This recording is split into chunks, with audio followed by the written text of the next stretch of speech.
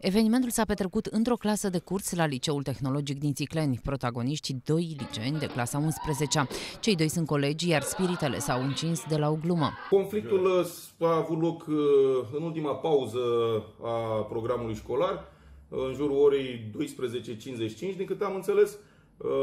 S-a desfășurat în, în sala de clasă a celor doi, cei doi fiind chiar colegi. Uh, am înțeles că și-au pus piedică, unul dintre ei a pus piedică celuilalt, care a ripostat și, mă rog, după ce și-au adresat și uh, injurii. De aici până la niște lovituri dure nu a mai fost decât un pas. Tânărul a lovit pe colegul său cu piciorul în cap când acesta era deja jos. Un alt elev a filmat totul și a postat apoi imaginile pe internet. Așa a aflat și conducerea școlii despre incident. Profesorul de serviciu are îndatoririle de a sta printre elevi. Noi avem de asemenea un sistem de supraveghere video care Ehm, este uh, funcțional 24 uh, din 24 atât în curtea școlii cât și în interior, doar pe holurile instituției, neavând permisiunea de a amplasa camere și în sălile de clasă.